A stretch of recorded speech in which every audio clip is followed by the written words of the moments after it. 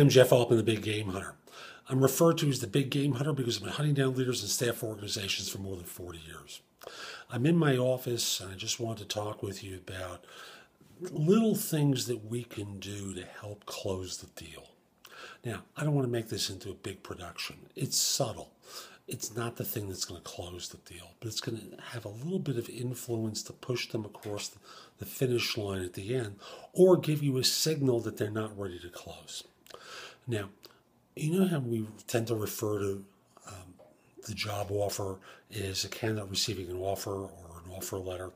Now, when we talk to candidates, the one thing I'd suggest doing is instead of referring to it as an offer letter or job offer letter, refer to it as a commitment letter. Now, no one's going to sue them if they don't keep their commitment, but it's a subtle thing. It lets them know that, that the letter is there if they accept to bind them to joining the firm. Now, you're not necessarily going to say that, but it's a subtle influence on them that's going to help push them over the finish line. Now, again, if they resist, there's information there for you.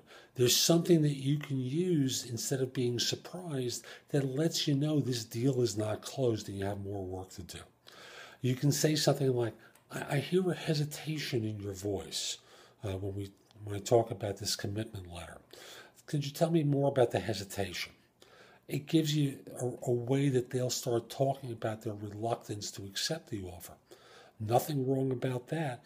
It's better that you know that, at the end, have them come back to you and say, I'm turning down the offer. But why? You know, instead, find out before um, you have a problem later on, so that this way you can get the issue solved.